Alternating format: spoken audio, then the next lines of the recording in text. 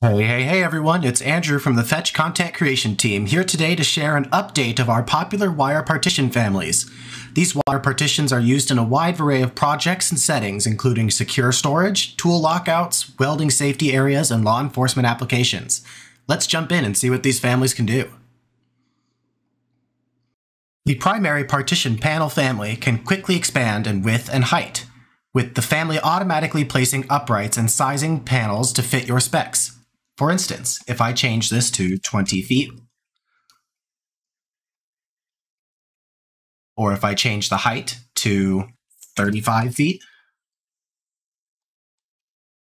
the family will automatically place uprights and size panels to fit your specs. This family also includes options for the panels to be flush at the top or the bottom, or both. Ideal for projects for DEA and other law enforcement applications.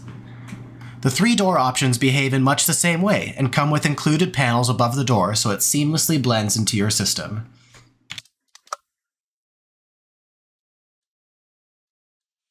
All partition families now include a welding curtain option for added industrial or fabrication machine protection. Simply select them all and check on Add Welding Curtain. It's that easy. We've also made updates to the height parameters for this family. Before, each panel and door had to be adjusted individually, but with new shared parameters, those days are in the past. Select all the panels and door families you need to change, and enter the new height into Enter Post Height.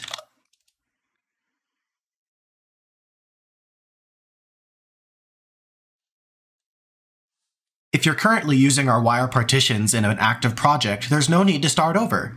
Just navigate to your project tab in the Fetch app and select Update All Families.